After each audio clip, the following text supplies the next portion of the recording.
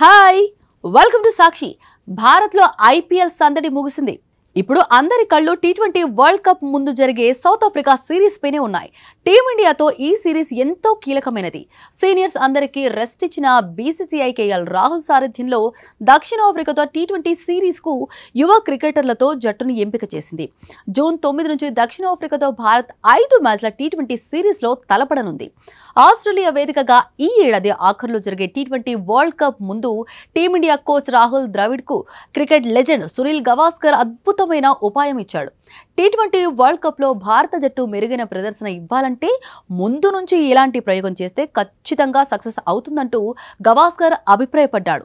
Two thousand twenty one T twenty world cup తర్వాత భారత జట్టుకు దాదాపుగా దూరమైన Hardik Pandya IPL twenty twenty టూలో అద్భుతమైన ఆల్రౌండ్ ప్రదర్శనతో గుజరాత్ టైటాన్స్కి టైటిల్ అందించాడు. దాంతో ఐపీఎల్ కొనసాగుతున్న సమయంలోనే సౌత్ ఆఫ్రికాతో జరిగే టీ ట్వంటీ సిరీస్ కోసం హార్దిక్కు పిలుపు వచ్చింది.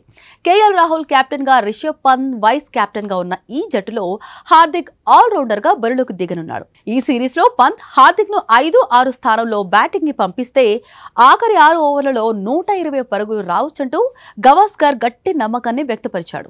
హార్దిక్ను ఐదు లేదా ఆరో స్థానంలో క్రీజులోకి పంపుతారని నేను అనుకుంటున్నాను. ఐదు ఆరు స్థానంలో రిషబ్ హార్దిక్ బ్యాటింగ్ చేస్తే ఎలా ఉంటుందో ఒక్కసారి ఊహించుకోండి. వాళ్ళ కాంబినేషన్లో టీమిండియా ఆఖరి ఆరు ఓవర్లలో భారీ పరుగులు చేసే అవకాశం ఉంది. ఈ ఆరు ఓవర్లలో మీరు వంద నుంచి నూట ఇరవై పరుగులను ఆశించవచ్చు వాళ్ళకే ఆ సత్తా కూడా ఉంది. అలాంటి ఆట చూడాలని నాకు కూడా ఎంతో ఉత్సాహంగా ఉంది అంటూ గవాస్కర్ చెప్పుకొచ్చాడు.